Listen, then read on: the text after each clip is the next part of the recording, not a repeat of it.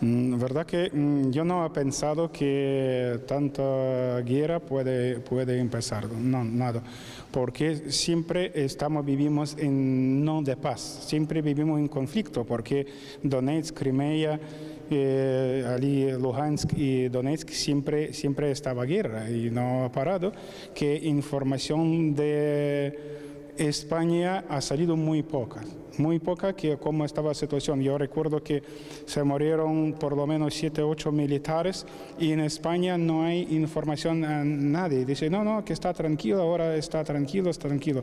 No hay tranquilidad porque yo entiendo que España mira mucho más de la situación económica para tener relación con Rusia, porque Rusia que no es Rusia, es solo mafia de Rusia que tiene dinero, porque no puedo decir que Rusia tiene, porque yo tengo también en Rusia familiares y familia y tengo muchos amigos rusos que viven de pobre y, la situación está fatal que, mm, y tiene una miseria como una profesora, eh, allí recibe 200 dólares y dice que comunidad y todo que gasta este dinero no se queda para comer, para vivir nada.